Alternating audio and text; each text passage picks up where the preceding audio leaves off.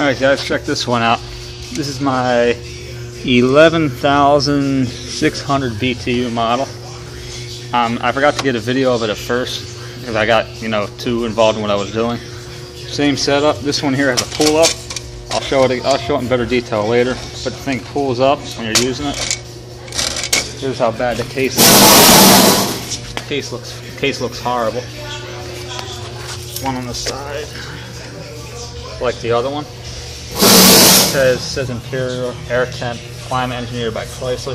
That's actually embossed. Look at the big evaporator coils. Control panel, just like the other one. Directors like that.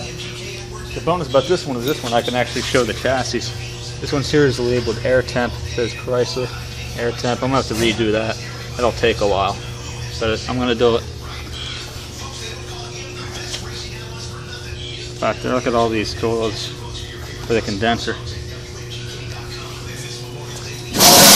Top, that came off. I have to put it back on. That's the outside, it's all rusted, a little dented and beat up. I have to bang it back into shape. There's some pieces to the other one, I didn't get that done yet. Let's fire it up. Vent works. Speed, high and low. Let's turn the thermostat down, start with fan only. Ugh. Well, the fan works.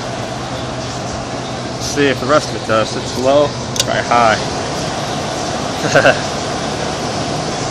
Go back to low, we're gonna try cool. We go on, and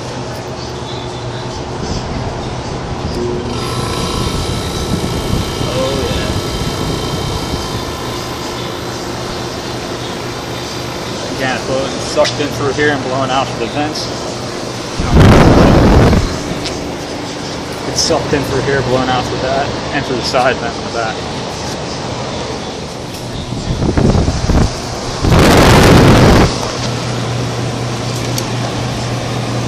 And he's cold already.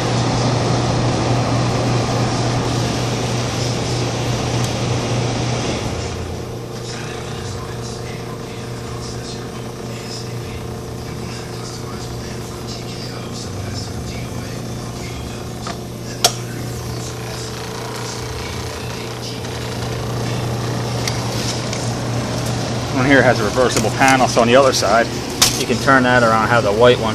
So have to get that cleaned up, it's disgusting. You can see it already has frost building up on here. Yep, see? Frost. and she's blowing ice cubes right now. So, thank you for watching, and I can't wait to show you guys what it looks like when it's all fixed up.